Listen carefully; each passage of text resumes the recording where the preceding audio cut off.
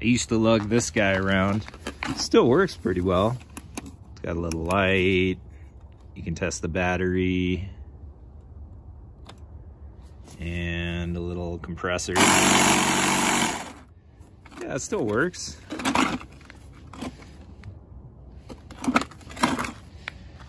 But I moved to something that's a little more compact.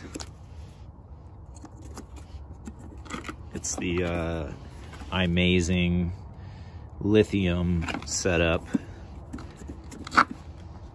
with a just a smaller compressor from a Leaf. Got this guy on eBay for pretty cheap. I think it was like 75 bucks or something. Comes with all these goodies uh, jump start and that works really well. I've had to use that on a couple Subarus already. And here's the unit. It's pretty, uh, pretty compact.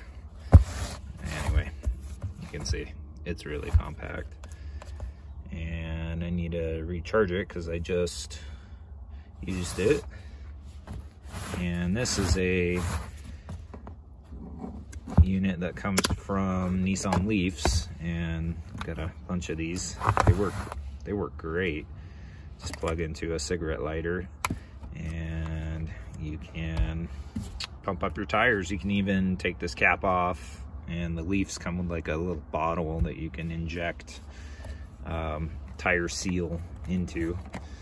Um, what's great is you can take this guy and use the 12 volt adapter cigarette lighter adapter and run it and it takes way less room than using this guy and lugging it around this one just has a two or three lead acid batteries in it and you know it weighs a, a little bit it's not too terrible but this is a much better system because you can take this with you and charge up phones and do all kinds of stuff I'm just gonna do this See, it's got all the, the ports. It has the light, everything. If I remember how to do it. Yep. Can also do like SOS, blinking, and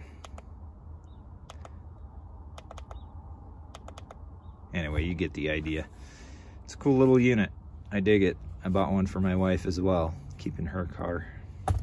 Got the new iMazing little battery jump box. We'll see if it actually can handle the load of all four of these guys with a little leaf charger here, or inflator.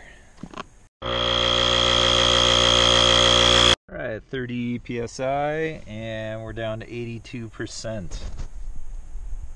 So that one was 18 percent to get one tire 31 psi or so and down to 75 percent got 32 psi or so and down to 67 percent and we are at 59 percent. So this thing did pretty well for these four tires uh, averaging about 10 psi a tire or percentage a tire getting them all up to 30 psi